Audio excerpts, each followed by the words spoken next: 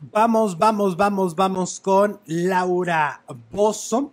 Y llevamos horas viendo en redes sociales cómo la gente está verdaderamente furiosa, furiosa, furiosa con Laura Bozo por este altercado que tuvo con Ivonne Montero al interior de la casa de los famosos. Resulta que eh, Ivonne Montero gana la prueba semanal y se convierte en la primera finalista. Esto hace que sus compañeros se enojen, incluyendo a Laura, estallan de rabia, les da mucho coraje que Ivonne, que no la quieren desde hace mucho tiempo dentro de la casa, se haya podido colar a la final. Porque hoy son nominaciones y los, de, los otros cinco no tienen el lugar seguro. Solo Ivonne Montero. De esos cinco, cuatro van a pasar a la final, entiendo. Exacto, y a lo mejor tres van a estar pidiéndole a, este adiosito, que no que no los eliminen el lunes, que no, les digan adiós.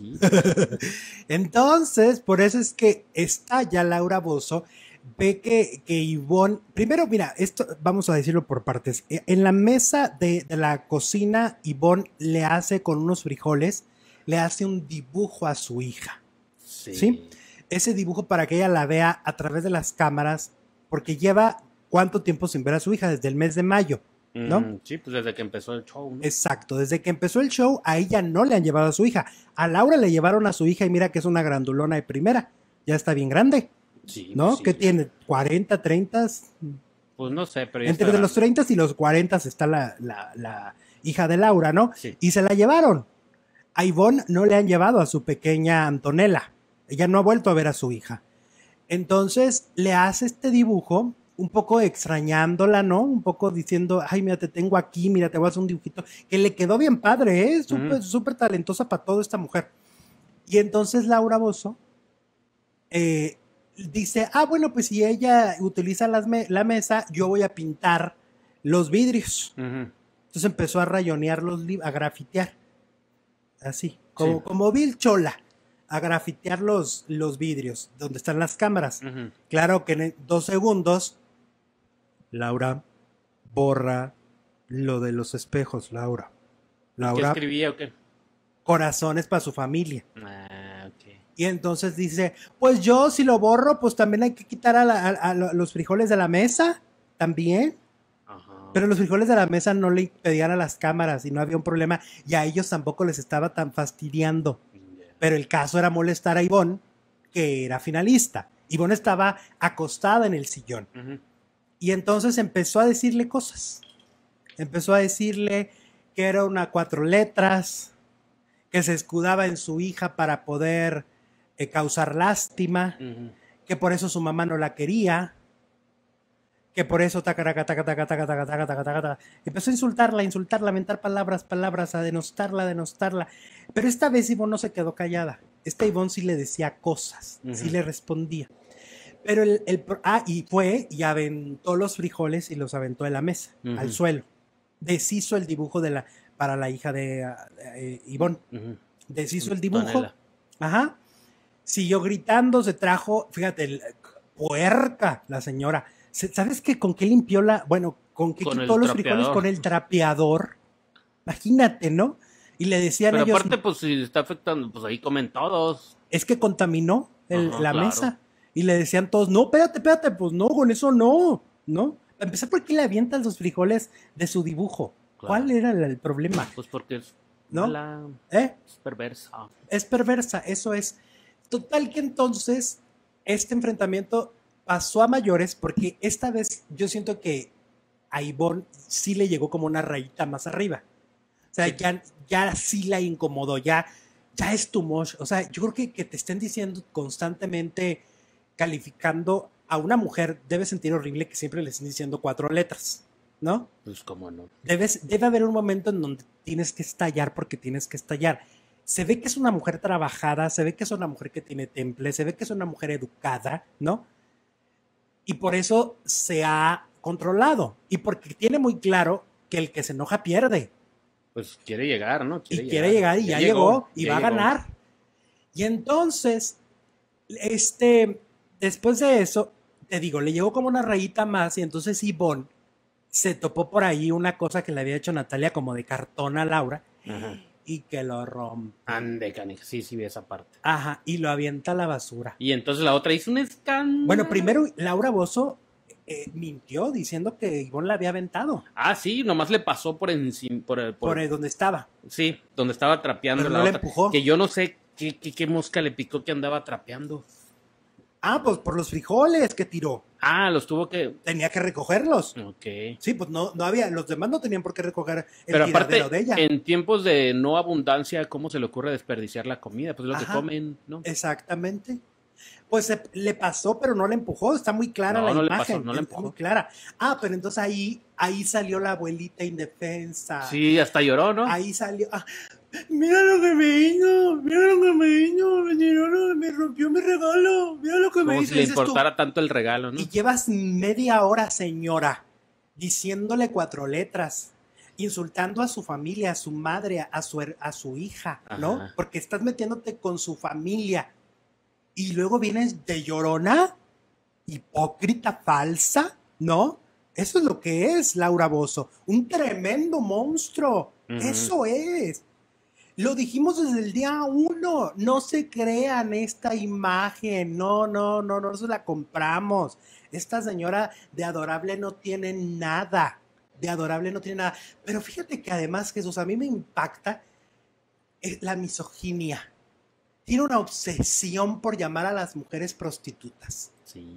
tiene una obsesión en ese sentido, ¿no? O sea, eh, yo pienso que es esta belleza que tiene Ivonne Montero, sí le debe generar un, un algo en el interior. O sea que a todo, esta señora. el- todo viene porque le, envidia la belleza. Entonces. Yo pienso que sí.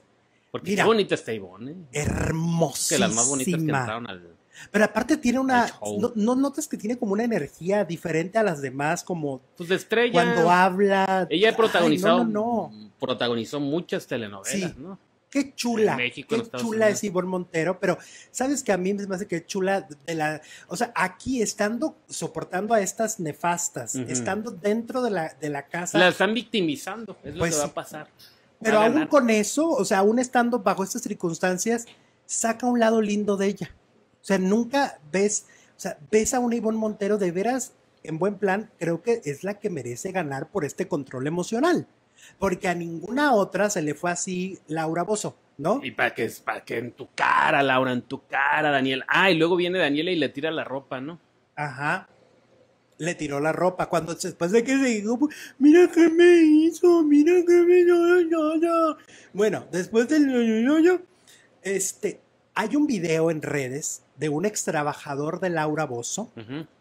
Que dice, literal, y vayan a verlo, todos los que la defienden como si fuera eh, eh, la reina de su secta, vayan a ver ese video de este hombre diciendo que Laura solo muestra el 60% de lo que es capaz.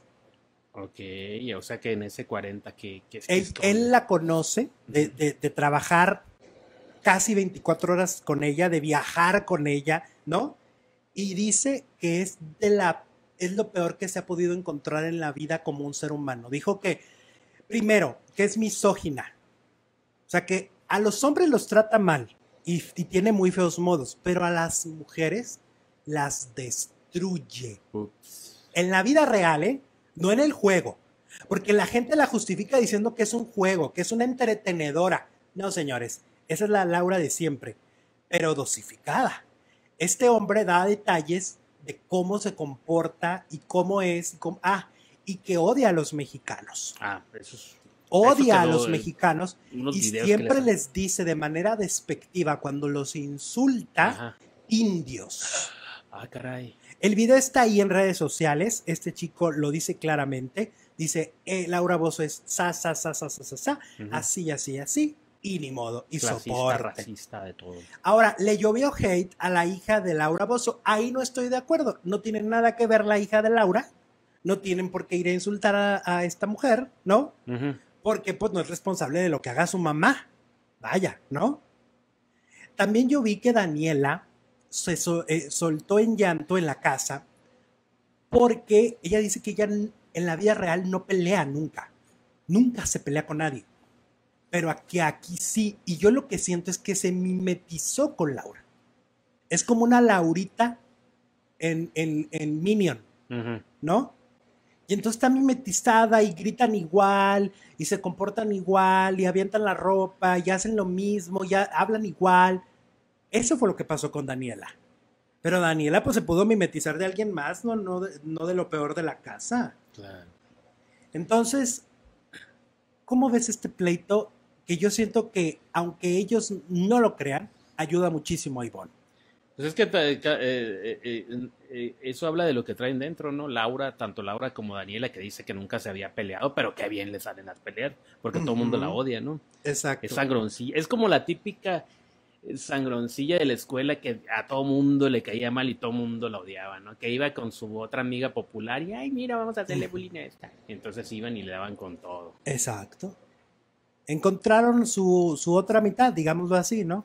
Mira, dice el camaleón, nos manda dos dolarotes. Pobre mi Laura, Ivonne no logró nada en Televisa, dice el camaleón. ¿Y eso qué ah, tiene que ver? Pero en Azteca y en Telemundo, ¿qué tal? Eso es una protagonista de telenovelas. Pero aparte eso no tiene nada que ver con comportarte decentemente o no, ¿no? Puede ser la persona más exitosa, de más protagónicos. Burlarse. Y luego, y luego, ¿sabes qué? Metieron a la mamá de Nacho Casano, ¿no? Ah, sí. Y abrazó con una alegría a Laura Bozo. Entonces, ¿dónde está la demanda de que...? Yo creo, ahí te va mi teoría le, la orden seguro fue directa de la producción.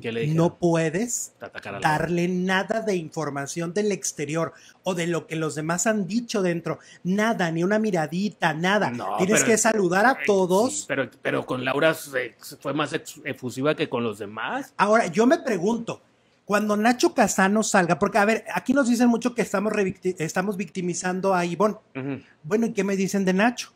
Cuando Nacho salga y se tope con que a la mujer que, le hizo comida, que la trató educadamente. Dijo que él es un chichifo. Exacto, dijo que era un chichifo que andaba con ejecutivos de Televisa. ¿Qué va a sentir Nacho? Sí, ¿Qué va a eh, sentir Nacho cuando escucha a Laura Bozo decir marranadas de Pero eh, sí, pero lo que vimos ayer es totalmente ilógico. La mamá sí sabe todo lo que Laura Todo, la mamá sabe todo. Y llegó y saludó a todos, pero con Laura fue de una felicidad y un abrazo y un eh, casi, casi era lo logramos. Le destruyó la reputación a su hijo. Entonces, ¿dónde queda la congruencia? Dijo que su hijo no se ha ganado los trabajos por talento, sino por la cama. Acaba de salir una nota donde dicen que los van a demandar, ¿no? La familia de Nacho. Y entonces, ¿por qué hizo es que yo insisto que por ahí tiene, a, lo mejor quisieron confundir, quisieron que no, fuera evidente para que le llegue el golpe a Laura, no sé.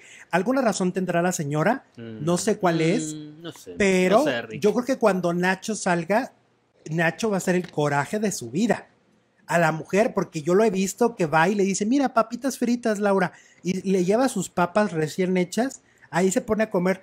Y esa mujer se atreve a comer esa comida de ese hombre que, ha dicho cosas horrorosas. ¿Y quién fue el otro?